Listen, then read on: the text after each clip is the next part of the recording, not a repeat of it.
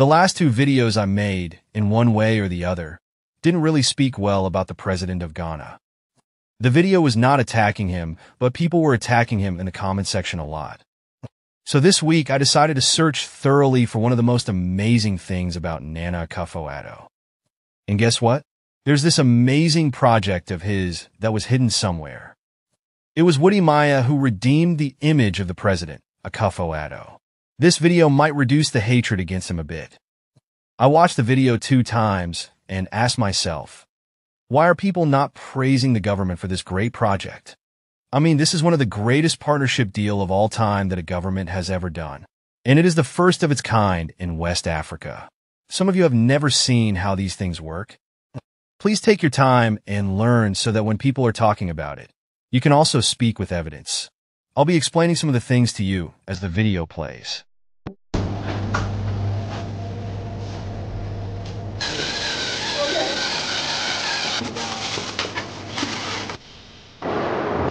I love saving lives, yeah? So I'm here to save life.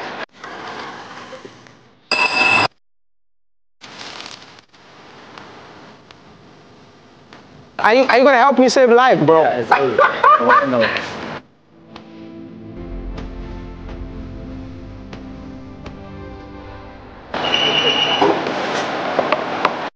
What do I do? So we've already loaded the package inside the zip. Okay. So you just take it like this.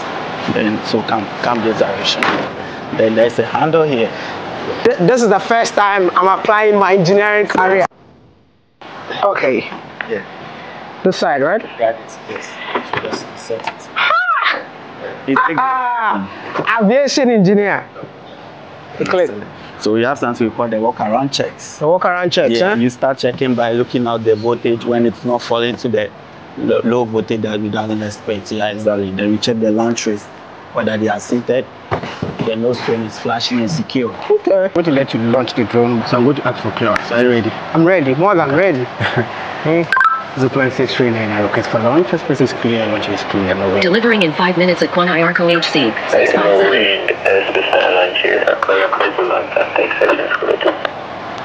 Clear to launch. So are you ready to save the light? Of course, more than ready. so come to this side for me. Okay. I'm going to use this button. I'll press this. This will turn green. Hmm. And you just press this button. Okay. Right. Spinning motors. Launching 69 now. In three, two, one.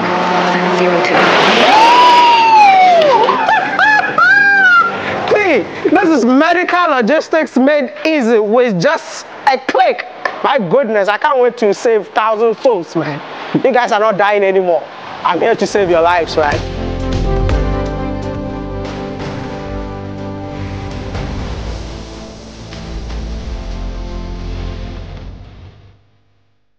One of my biggest goals on social media is to touch lives. But I feel like Zipline is touching more lives than me. Very true.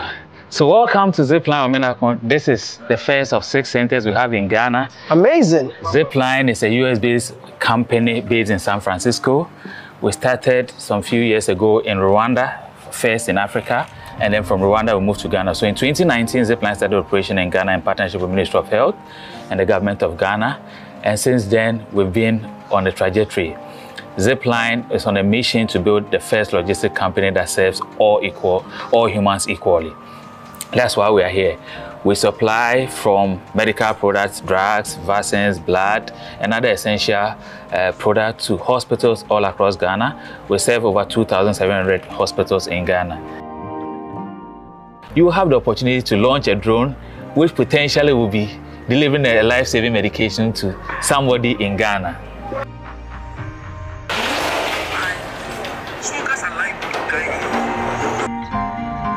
So the main target audience for our center is hospitals.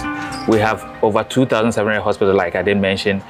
And for us, access is a key concern for us. So hmm. we target most of the remotest areas of Ghana, hmm. very difficult to reach locations, hmm. mountainous, very terrible roads, and especially in rain season like this, places like um, the Western North region, the Northeast region, especially now that the Bagre Dam is open and the whole place is flooded, this is where we come in handy and we supply these people with essential commodities that they need to have their hospital running on daily basis.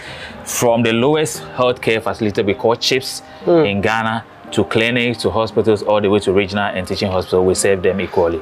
I really want to know how it works, so if you can take me through the whole system and uh, we'll follow up from there. All right.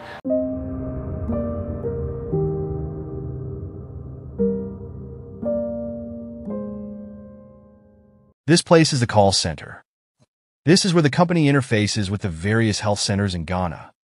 All emergency orders are received from here. When they launch the drone, someone from this room will send a message to the particular health center where the drone is set to land to notify them that the drone has been launched.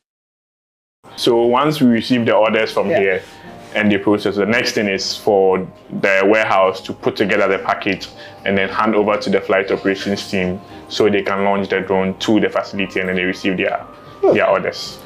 I really want to see. All right, so we can proceed to the warehouse and then have a look at what goes on in there. Okay, Wode, so um, are welcome to our fulfillment operations area. Yes. So it's a restricted area, so we'll have to go through some safety protocols. I hope you don't mind. No, I don't mind at all. Good. yes, okay, so this is our fulfillment area. So the boxes for delivery? Exactly. Boxes oh. for the delivery. I, I, I was thinking, mm -hmm when the medicine drops from the drone, mm-hmm. it doesn't get affected. But now I'm seeing that it's well packaged, man. Because exactly. even this with the rubber in there. Exactly, Woo. exactly, exactly. So um, uh, the payload that we normally work with is a two kilogram payload, okay. and this is what you see here. So um, the box comes with several elements. You have um, this here that sort of insulates the mm. package mm. from you know breaking when it drops. Mm. You also have um, a parachute the parachute is to help the package drop wow. slowly and reliably to the specific spot where it is um, designed to drop. So that's that's the the aerodynamics of the, the package. So the package is two kilogram also because um, we don't have any intention of replicating the existing supply chain systems in the country. So our job is to plug in supply chain gaps. So what that means is that when, for instance, you have a facility running out of stock. They can call on us.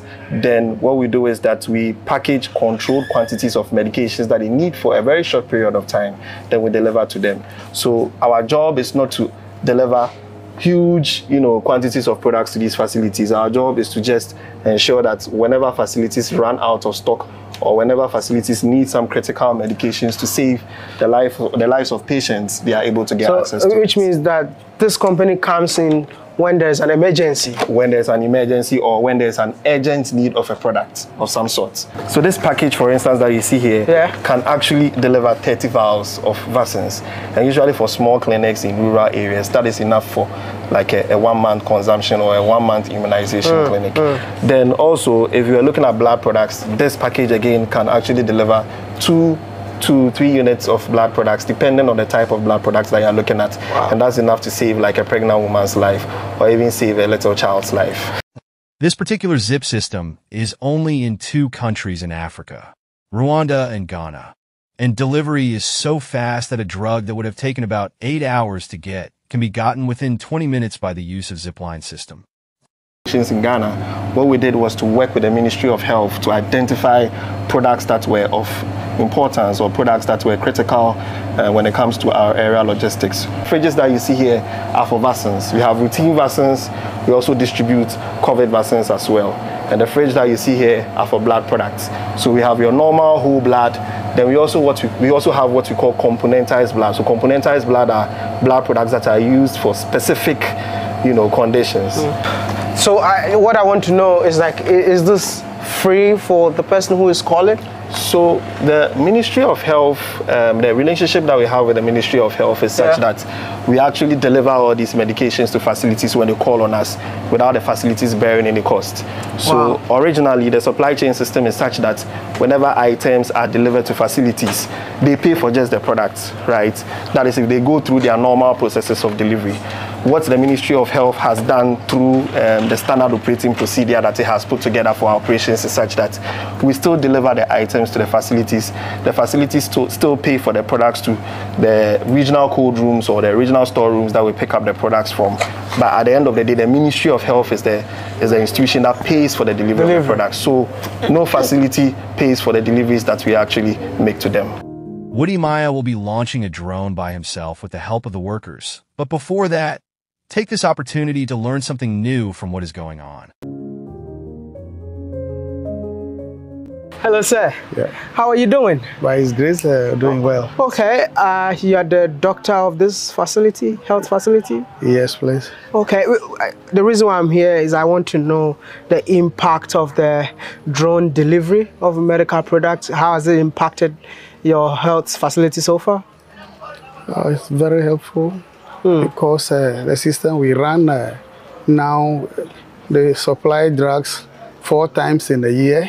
That is uh, LMD, last mile delivering uh, system that uh, we are running. Okay. And sometimes when we run out from drugs and uh, we request from a Zipline, and within uh, 10 minutes, then they supply.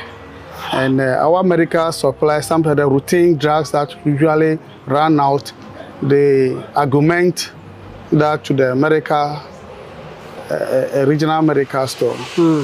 For example, our nurses will be on the field and then the community health nurses will be on the field and they run out of a vaccine. So we request and they deliver.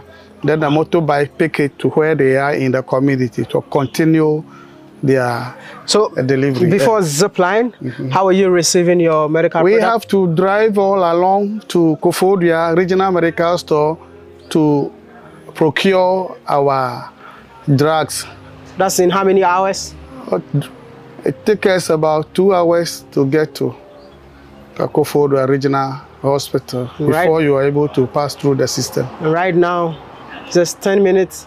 10 minutes, the drone within 10 minutes, It's when you request within 10 minutes, you'll be at the delivery point and then pick your product and then uh, redistribute it to the various units. All right. Yeah. That's And amazing. Yes, and it's helping us. For instance, for last week we were managing the case and we ran out of uh, this uh, local uh, anesthesia, xylocaine. So we have to call and then they deliver and we quickly hot infuse the site and then do the suturing. Wow. I wanna say- it's uh, helping. Uh, it's helping. And can we do some, you know, some packaging for people to know Exactly. that, you know, I'm not faking it? Yeah. So yeah. they, they, they've ordered something, right? The com- they've ordered something. Yes. Uh, what is it? Can we help you package it? Okay, sure. Oh, okay.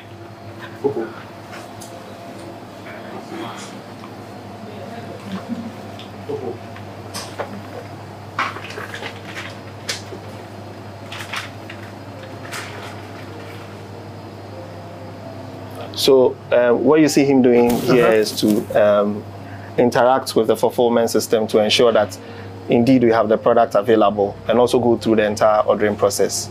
So he's trying to do that. So what we normally do is that for all the facilities that we serve, we sort of upload their data onto the fulfillment system so that when a facility, call, a facility calls on, that, on us, we are very sure that the products that the facility is ordering for are products that can be delivered to the facility. Because you know in Ghana, um, the different levels of hospitals or health centers that we have have specific kinds of products that they can order for. So you can't have, for instance, the lowest level of our healthcare system ordering for blood products. Exactly. Right. So our performance system has been taught um, to actually respond to such orders, such that when a facility that is not supposed to order for a product orders for that product, our fulfillment system will not allow us to serve that particular order. So what you see there is um, the product being packaged. So when the product, when it's confirmed that the product is available, the product is then packed. First of all, by wrapping it in the damage.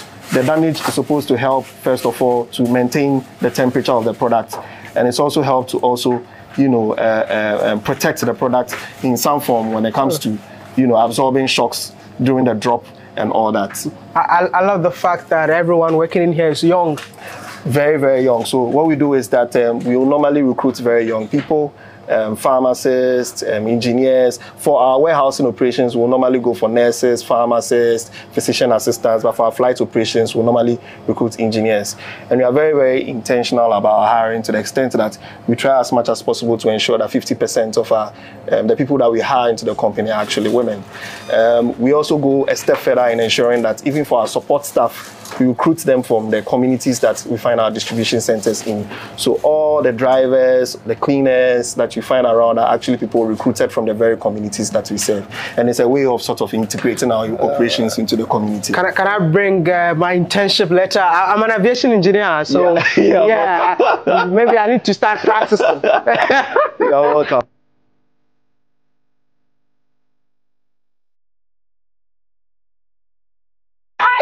You? I'm fine. How are You you? work here too? Yes, I do. I do. Wow, this is, this is a black women empowerment, eh? Because they were, they were telling me that 45% of the women that work here, the people that work here are women. Yeah, that's totally spot on. I thought they were lying to me. No, it wasn't. Where are we? okay, so we are currently um, in the flight operations area. Okay. And um, I'll be taking you through a little bit of what we do before you go in there too. I always call this part the cool side of town. So this is where, where all the I love that. I love that. Okay, so we would start from the dashboard. That is currently what you are seeing. Okay. And you can see a lot of numbers going on in there. So that is a breakdown of what we have and what can be used to fly the drones. Okay. What powers our drone is mainly the batteries. So right here is a categorization of the batteries that we have that are fully charged. So you can see here that we have 13 batteries totally charged. Okay. Yes, and the batteries also have two um, categorization under them. We have the three dots batteries and the two dots batteries. So the two dots means that it can take you at maybe a shorter distance as compared to the three dots. So say your 100% battery can take you throughout the day and 50 can take you maybe half day. Maybe you're going to cycle to get something. So, yeah. Exactly. How many deliveries do you guys do in a day? Okay, so we can do from this nest, uh, Uh-huh. we can do an average of about 100 to 120. 80 is the least that we would be doing in a day. Yes. And for the high demanding nest, they can do about 300, about 200, 250 in a day. These are the batteries, eh? Exactly. Oh, which one is fully charged? All right, so the blue light that is emitting here shows that this battery is fully charged. Okay. And as I mentioned, we have three dots, so you can see the three dots here, you can see two dots. Yeah. So the battery is currently sitting on what we call smart chargers. And it doesn't only charge the battery, but it also cools it down at the same time. Wow. How far can the three dots battery go? So The distance. the- that's, that's a very good question. Yeah. The farthest facility that we serve is 57 minutes from here in the central region. To go as far as central region of Ghana. Exactly. So we serve two regions, part of the eastern and part of the central. So 57 minutes away from here, this battery can stay in flight and serve that facility. And so that also gives us an idea that this battery would always be able to go according to the ETA Yeah. because it can stay in flight for about two to two hours, 30 minutes. Yep. And 57 minutes means it can go in and come back successfully.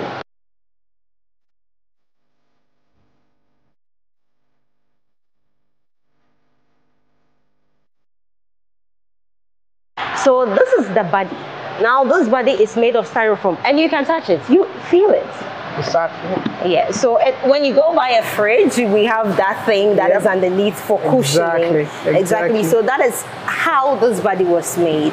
And on the body too, we have this part that is the more like the belly of the drone.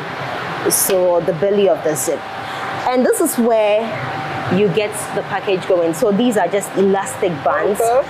Immediately when um, the drone gets to the destination, because there are sensors here and it uses GPS, it will just open up and, And um, it drops the it. package. Also on the body, note this, we have this tiny tail hook. And you are going to get to see how all of these are very important, including the QR codes mm. are important to our operations. Operation. I wouldn't want to spoil the fun, so see everything for yourself. This is the wing of the drone or the zip, and it has a wingspan of 3.3 meters. Yeah. Yes, it's not really heavy. Yes, but um, this area is something that you should look out for because it's a little bit sharper Yeah. as compared to To the, the side. side. Yes. And the last component that we would get to see outside is the nose cone or the nose foam. Um, but before we head in there, let's put on glasses for safety protocols. Yep. For the takeoff. All right. So, and that is the last component which we spoke of. So you can pick one as well, and you can see this equally made of the same material that Yeah. was used for the drone. That is styrofoam, and that is the last thing. Okay, so this is where um, I end with you, and Vanicia takes over. Wow. Valencia.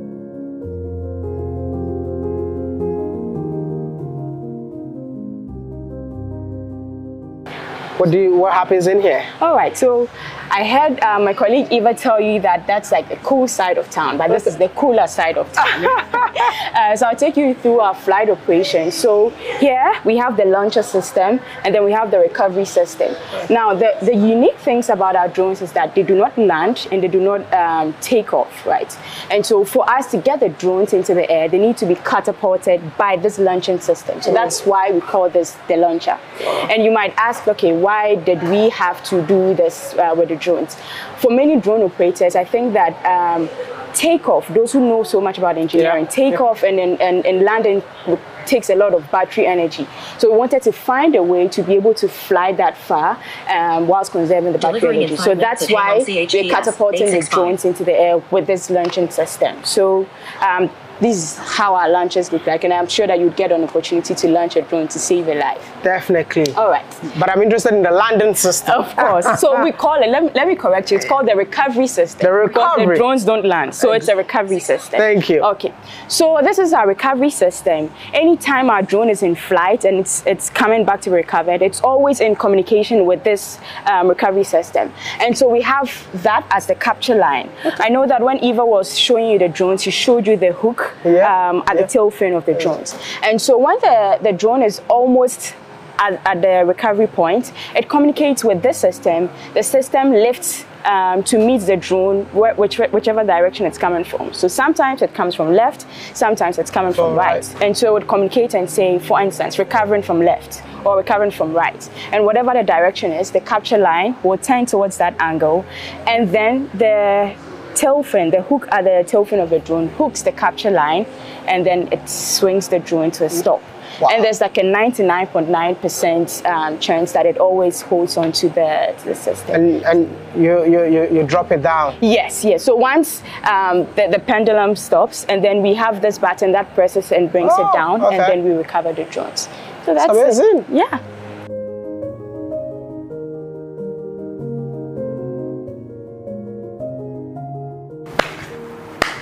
This is absolutely brilliant. The fact that young Africans are working tirelessly the use of technology to save lives in our community. You don't think they deserve a round of applause? This is one of the best projects so far in Ghana that can even help the president himself. Nana Addo is quite old and he might need constant medical care himself. In case he is sick, he does not need to be taken to the biggest hospital. He can lie on his hospital bed in the Flagstaff house while this zipline drone delivers the needed drug. We appreciate the president of Ghana for such an amazing project. Other governments in Africa should learn from this. If you're a Ghanaian, you should be proud of this because it might save some of your people in the small towns and villages. We can't continue to report bad news, and when the good news comes, then we act as if we didn't see it. Let's look at this other thing. You heard them say that those drones use GPS address for the delivery. This comes back to the digitalization initiatives this government put in place some time ago. The economy might not be good, but this government should be commended for this amazing project.